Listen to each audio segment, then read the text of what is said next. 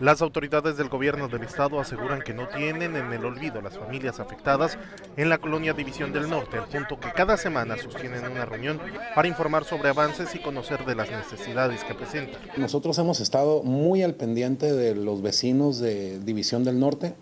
Hemos estado trabajando conjuntamente con el ayuntamiento para buscar una solución definitiva al problema, que fue lo que nos encargó el gobernador. Primero, buscando que esa gente que esas personas no corran riesgo ni ellos ni sus familias. Después de varios intentos frustrados, todo parece indicar que finalmente el gobierno estatal encontró un predio al que podrían ser ubicadas las 67 familias afectadas por los deslizamientos del suelo en la colonia División del Norte.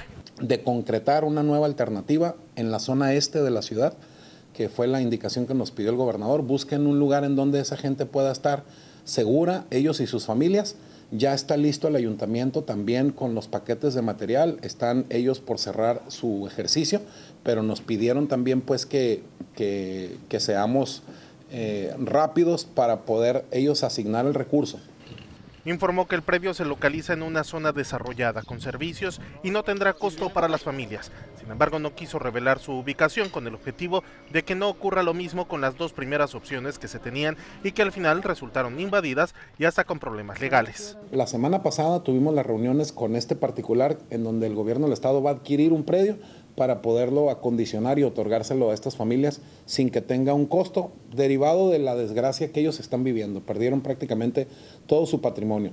Yo estoy considerando que durante los, los a mediados del mes de agosto pudiéramos estar haciendo, es decir, en un mes pudiéramos estar haciendo ya la asignación del predio para estas familias. Estamos nosotros en el protocolo de la adquisición del predio revisión de documentos, ya hay una opinión del jurídico. Mencionó que con la finalidad de brindar mayor apoyo a través de desarrollo estatal, construirán una cocina comunitaria en el jardín de niños que utilizan como refugio temporal y que se ubica en la misma colonia.